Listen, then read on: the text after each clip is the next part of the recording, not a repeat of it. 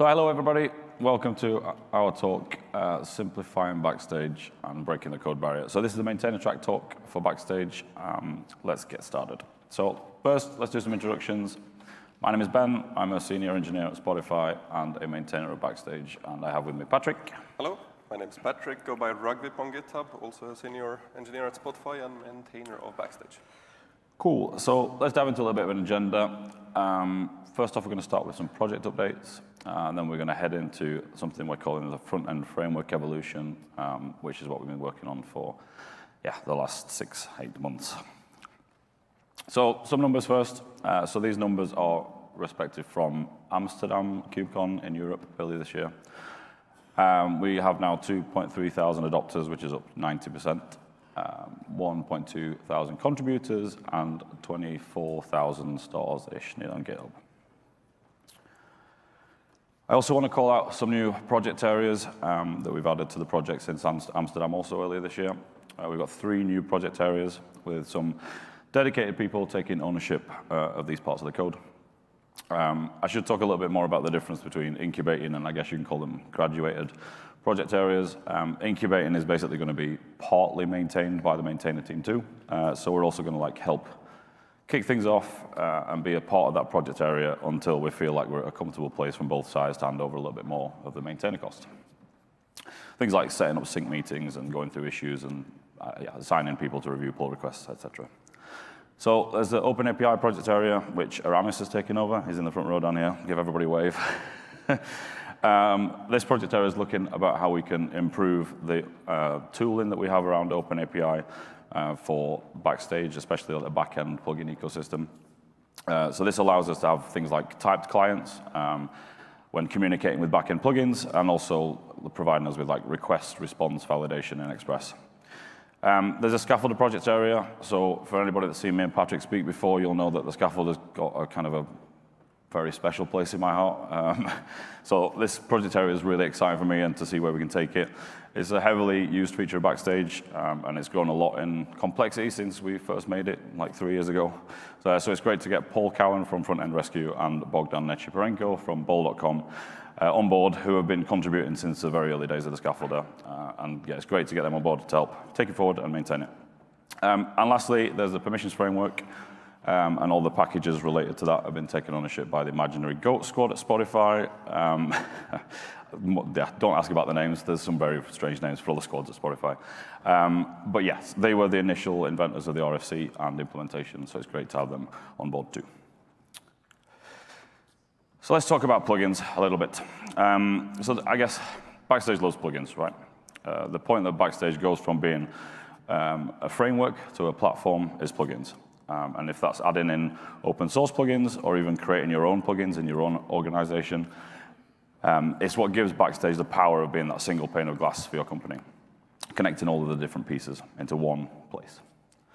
So in fact, the main monorepo at Backstage Backstage has uh, over 200 plugin packages, as you can see by the GIF that's really long here. Um, and some of these plugins we provide out of the box, like the catalog, the scaffolder, and tech docs. Um, but most of them have been actually community contributed since we started the repo three years ago. And we're so grateful for this. Like, personally, I don't think we would be where we are today, stood here on this stage with an incubating project if it wasn't for all these plugins and these contributors. And they're vital for the Backstage ecosystem, right? And because they're free, uh, because they're open source, they're also free, right? Which is great. But just because they're free doesn't mean that they don't have a cost. So when we were adding these plugins originally, um, early on, it was great to be able to see like all of these different use cases and make sweeping, breaking changes across the project and see how that impacted different uses of these APIs. But I feel like, or we feel now, that we're kind of past the point of this critical mass for this to be valuable anymore. So the other thing now is that Backstage Core is also a, a lot more stable. Like we're not making so many breaking changes, especially to the core framework. Um, not all plugins, when they're contributed, have clear owners um, after that initial commit. So contributors come and go, but the package still stays there, and then that maintainership burden falls on us as code maintainers uh, to keep it going. Um, and we as maintainers, we have a lot of stuff on our plate right now. You'll see later on what the, all this new stuff we've been working on. And Backstage is growing at a fast rate, as I've just shown you previously on the number slide. So there's quite a large amount of our time, you know, maintaining these packages, approving uh, code changes, uh, shipping bug fixes, bumping packages, etc. For plugins that we don't really use or test that often, so it's kind of hard for us too to work out if they're going to work or not, or if you know the changes are good. So what can we do about this? So we think as maintainers that we own too much in the repo, so we still want to we want to shrink that uh, basically scope that we own. So we got our heads together and came up with a plan for how we can trim down the scope. And our first step was to put together an RFC, potentially stopping new plugins from uh, being added to the main mono repo. So instead, we would provide guidance and tools to make it easier for people to host their own plugins in their own repo and their own organization outside of the Backstage org. So of course, we don't want to stop growing the amount of plugins that we've got, but we just want to free up some time for us. So we got some great feedback on this RFC. Uh, in particular, we heard that people love this idea of having a central repository for community plugins, um, and you know, that, the easier it provides to be able to contribute plugins with all of our tooling. So we're going to be exploring this idea a little bit um, and to see how we can set up this governance so that we're not super involved in that repo. So if you're eager in being involved in this or being a community plugins maintainer, please reach out to us either on Discord or come grab us here or wherever, uh, and let's talk. Uh, I also want to mention one thing as well um, on similar sort of a topic to that. Uh, there's been some steps to moving out some of the plugins that initially lived in the main repo before. So these plugins were also contributed by maybe people that didn't work at these vendors before. Um, and it's awesome to see, and it's great that we've got such a great open source community that can contribute these, uh, and then them being picked up by the vendors to maintain. Seeing these vendors take ownership of these plugins is great for Backstage. It really shows the investment from them, uh, as well as giving them a new home outside of the Backstage monorepo. They're now being maintained by the right people that know a lot more about these plugins, which is great. So maybe if you work at one of these, uh, at a company who has a plugin in the core monorepo and you want to help move it out, please create an issue and let's get started. Cool. Over to Patrik. All right, so that was a couple of project updates. And now it's time to look at what we've been working on for the Backstage front-end framework. So since the beginning of the Backstage project, you have always needed to integrate plugins using TypeScript code. Uh, typically, you found one or a few snippets of code in a plugin README. Uh, tells you what to do, import a few things, render them somewhere and whatnot, some form of integration. Now, it's usually fairly simple, uh, but already here there are a few points of friction, right? you quite often, uh, someone that wants to set up a Backstage instance might not know TypeScript, they might not know React, they might not be even that familiar with coding at all. But even with that knowledge, uh, it can get pretty complicated as your project grows. One snippet of code at a time, and eventually you're here, and you're sifting through your entity pages trying to figure out how to add a card for your Java services. And so what we've been working on is a way to integrate plugins in a Backstage application uh, that doesn't require this uh, code. What we want to do is remove all of these small snippets and instead just um, keep the flex, but still keep the flexibility that allows you to customize uh, your apps to your own needs. We call this overall solution declarative integration. Now, something towards is, that's worth pointing out here is that this is for both the front-end and the back-end systems. Uh, but with the changes on the way to the new back-end system, uh, there's much less work to be done there. So what we're going to focus on today is completely the front-end part of this solution. Now, if you've been around, uh, you know that we presented declarative integration as part of our roadmap at KubeCon EU earlier this year. Uh, we've been working on the actual implementation of this uh, since around the end of summer. So what we're showing you today is work in progress, and it is subject to change. All right, so when we sat down to design this new system, there were a couple of goals we had in mind. So first and foremost, we wanted to remove the need to write TypeScript code to integrate plugins. But we didn't just want to shift it all over to YAML. We wanted to make sure that plugins can provide defaults uh, so that the only configuration you need in your application is for customizing your setup. We also wanted to clean up the composition patterns, uh, making it easier to build plugins that extend and compose uh, with each other. And finally, we wanted to build towards the possibility of dynamic plugins as a first-class citizen in the Backstage framework, allowing you to install a new plugin without rebuilding the app. Now, to be clear, dynamic installation is not part of what we are building right now, but we had it in mind uh, as a future step as we were designing these things. Okay, so that's some background. Now we'll look at the design of this new system. So this is a very high-level overview uh, of the new framework. Uh, at the root, there is an app instance, which is just an empty shell. Uh, it knows how to wire things toge together and gives you a base to build upon. To populate it with content, uh, you have to install plugins. Now, plugins are also still just lightweight containers that provide extensions. It's in the extensions where all of the functionality actually lies in a Backstage application. It's when you take all of these uh, extensions and wire them together that you actually get an app that you can render and use. Now, if you're familiar with the current system, uh, you might know that nothing has really changed here. It's actually the case that the app and plugins more or less look the same from the outside.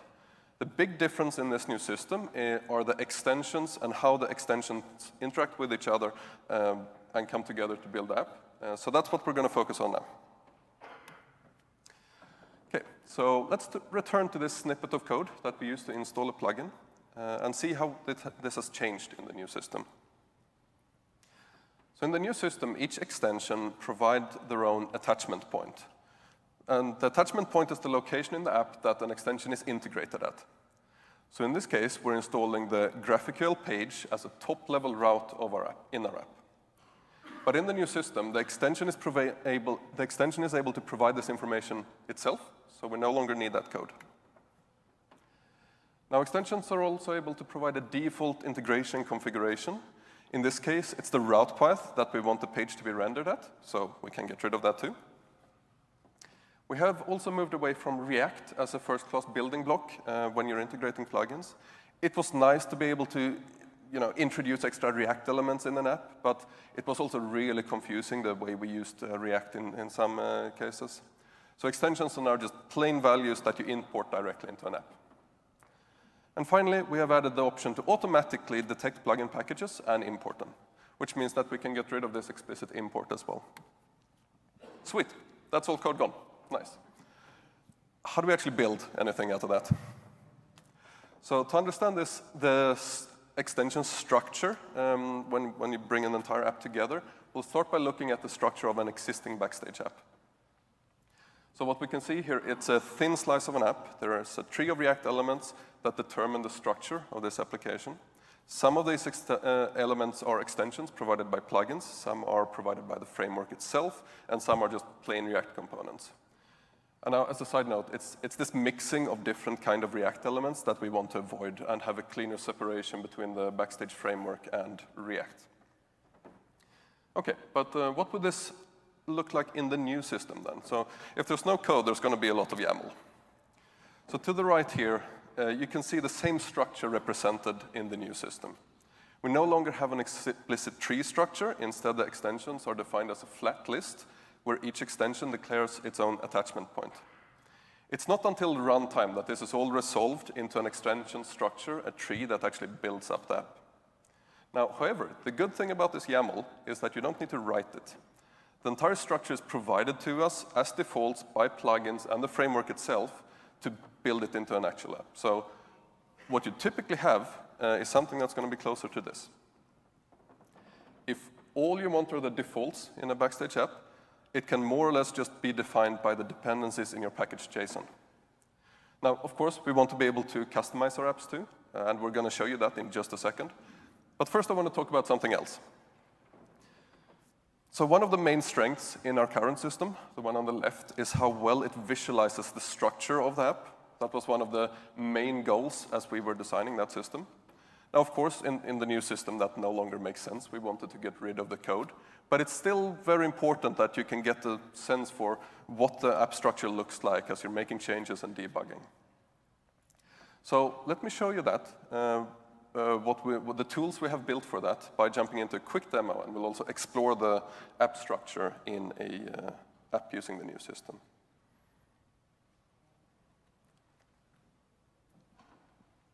There we go, cool. Uh, so what we have running here, and I'm gonna remember the key points, there we go. So what we have running here is a Backstage app using the new system. Uh, it's a small one, just a couple of plugins installed. We have an entity page here with a couple of cards. But as I said, it's all in the new system, and we have this visualizer down here that lets us see the structure of this entire application. So each of the blue square boxes here is an extension installed in this application. Each extension is linked to an input, the, the gray uh, round node, and the inputs in turn are linked to a parent extension. And it, it's this relationship um, between, with an input and a parent extension that forms the attachment point of each extension in the app. You can see we form, form up this tree. Every single extension is attached to a parent all the way up to the root of the app, where we have the root app extension. Now you can see here that we have, for example, a couple of extra uh, ex or a couple extensions here um, that are themes. So extensions are not only React components, they can also provide other kind of functionality uh, in an app. Also jump to this more detailed view. Uh, it's, it's the same list of extensions, but in a slightly different format.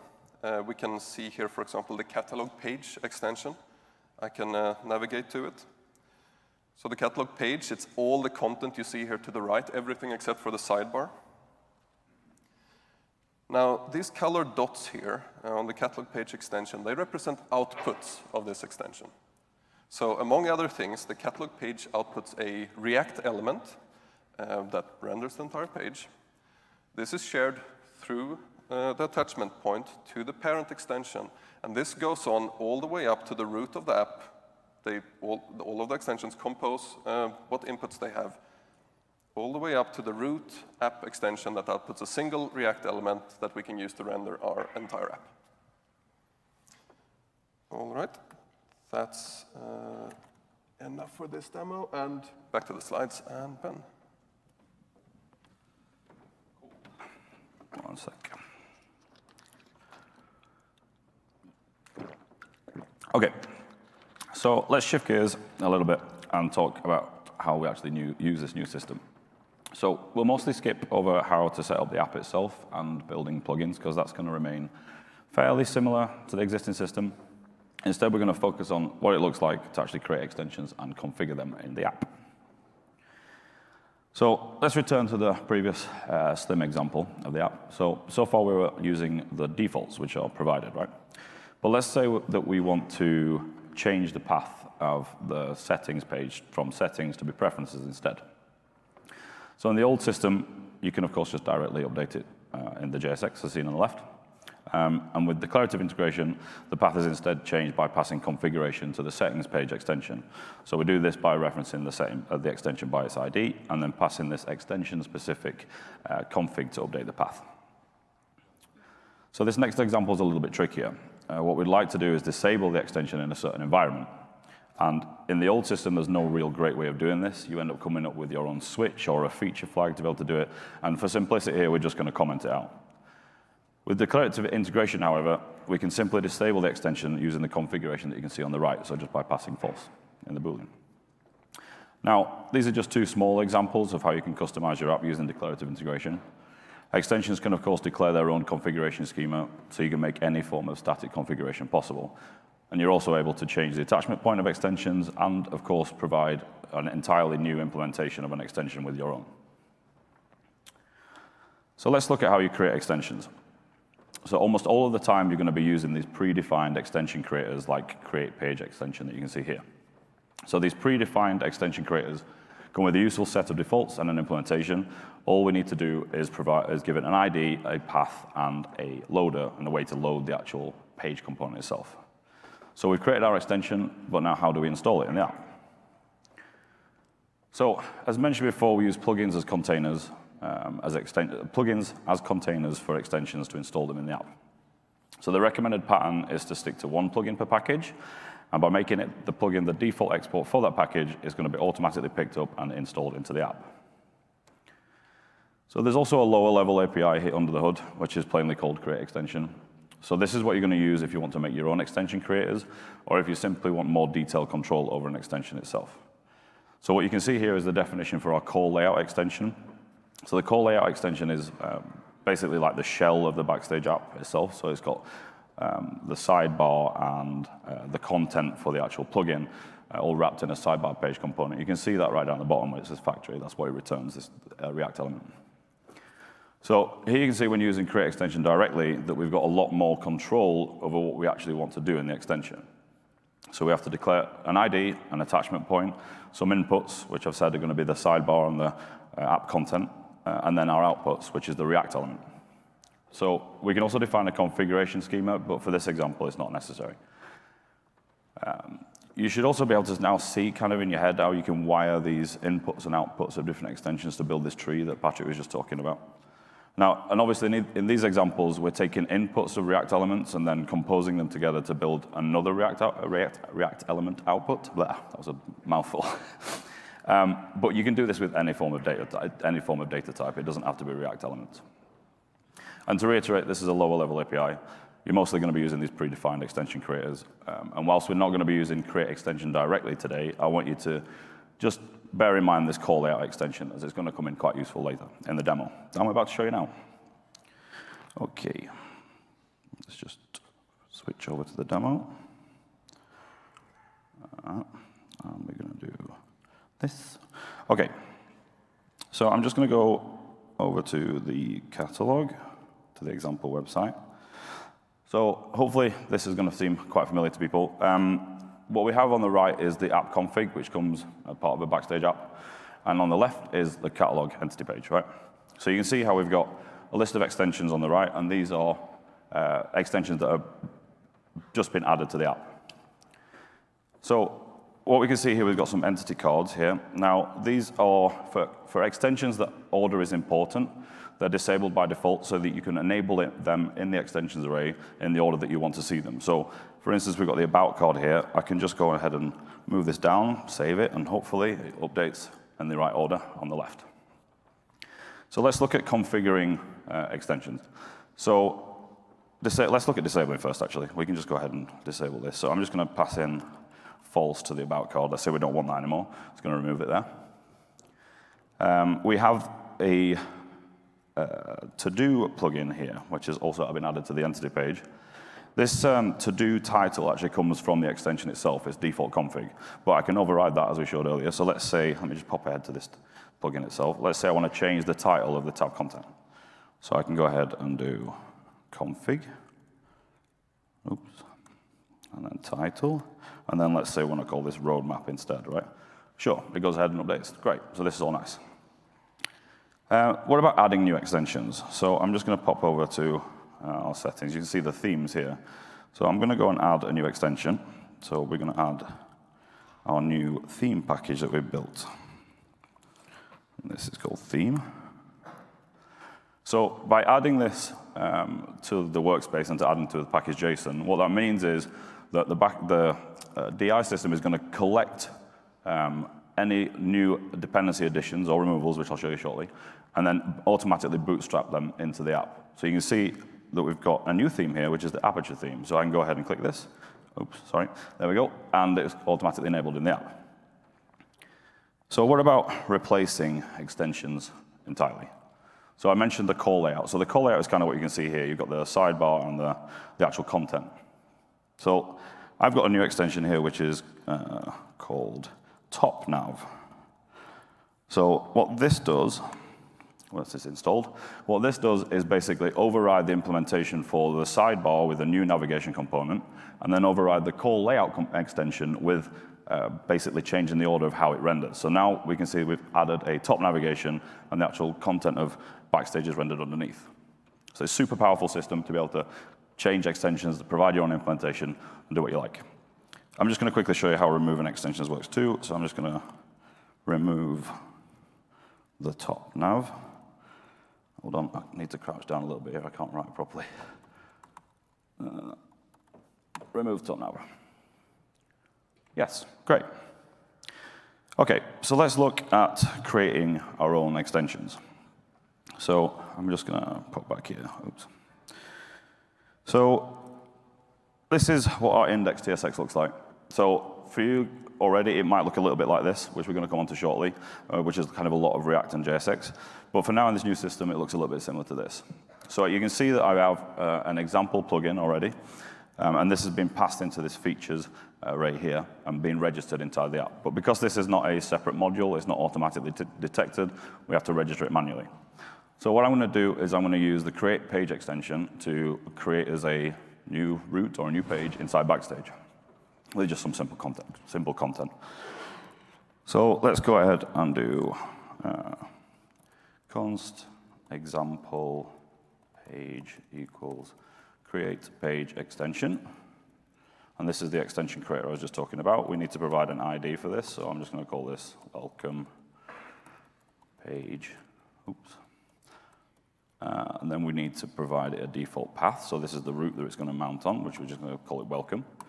Uh, and then we need to provide a loader, which is going to tell us how to go and uh, yeah, go and get the React component that's going to be the page component.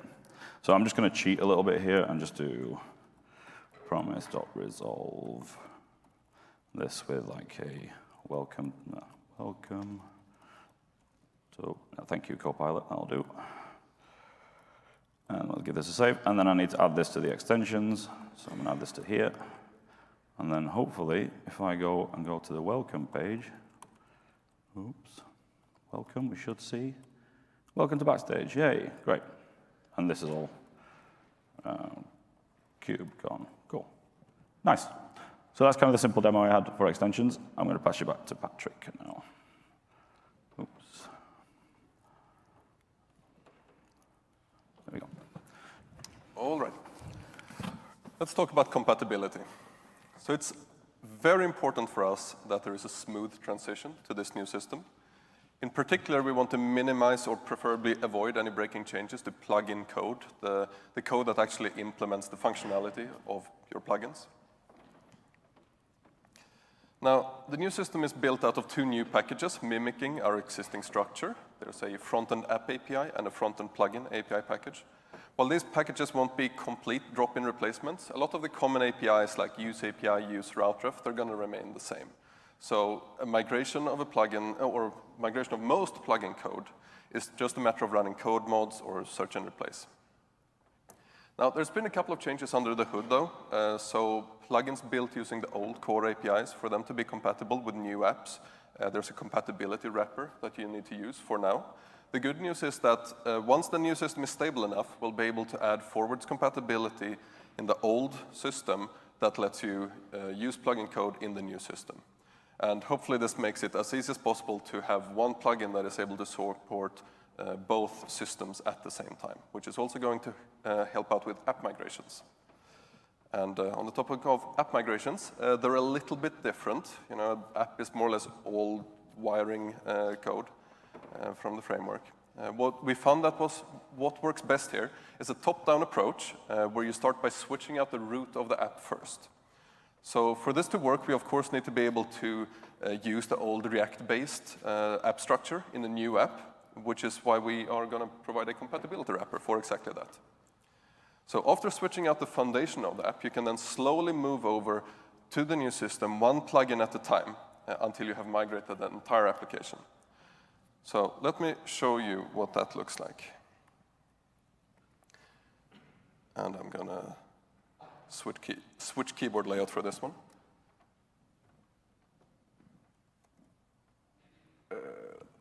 Hey, sweet. There we go. Okay, cool. So I'm going to jump to that um, app Ben showed you before. So this is an app using uh, the, our current system.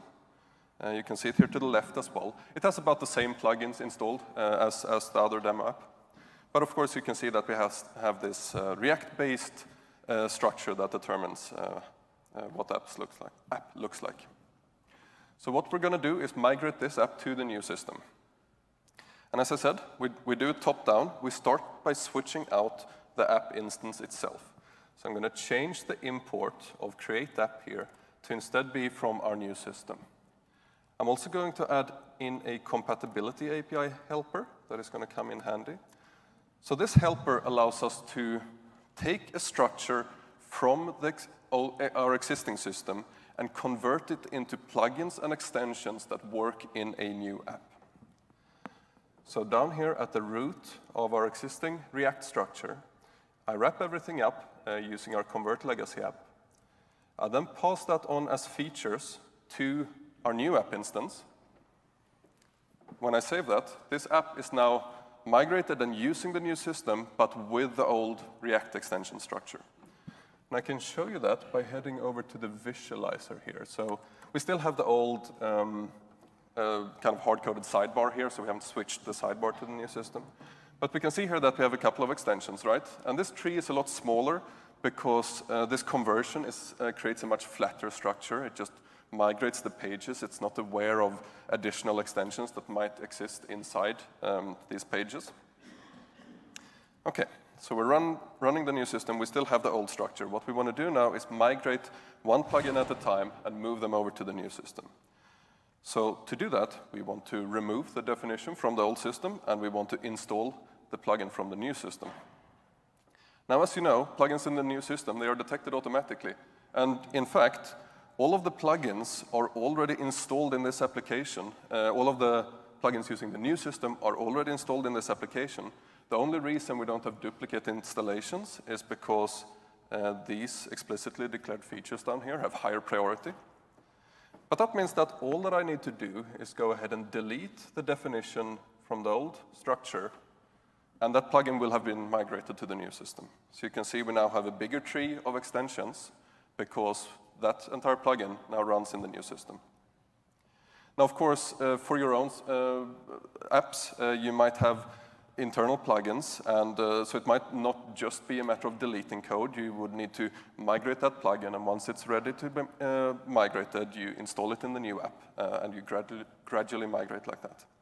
But in this case, it's all open source plugin that, plugins that already support both systems, so I can keep deleting plugins one at a time until what we have left is just, well, um, nothing really. We can get rid of this too. This is just empty um, routes at this point. We can clean up our imports. And this app is now completely migrated to the new system, uh, and it has a lot less code.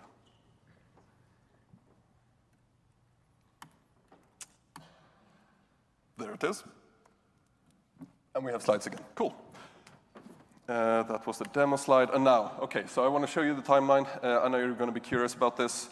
Our hope is to be able to ship an alpha release at the end of this year, but no promises. Um, we're, we're, looking at still an early release, uh, and you should not be migrating your production applications even uh, at this point. Uh, but there will be a complete system uh, for you to try out, and we are looking forward to your feedback. Thank you.